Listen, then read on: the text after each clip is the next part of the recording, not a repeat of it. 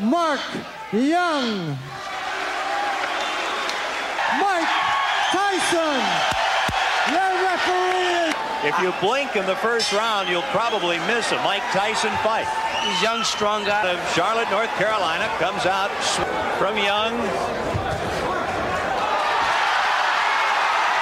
A breeze. That's it. A little phantom. He's gone. It's over. For the ring. Uh, well, we said if you blink, you could miss it. Mike Tyson.